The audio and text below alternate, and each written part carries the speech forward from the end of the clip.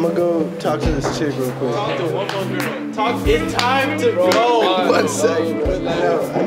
Are you not ready to go? You've been? One, one second. Bro, what? Where, where, where,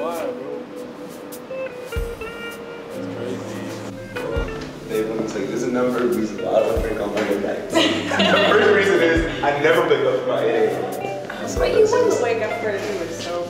That's not I'm not gonna be like that. well, I mean, I, you know, you're right. I, I ain't gonna lie to um, you. Uh, but, Uh, I was wondering if I could talk to you for a sec. Yeah, yeah. I'll just meet you at your place. Alright. What's going on? I'm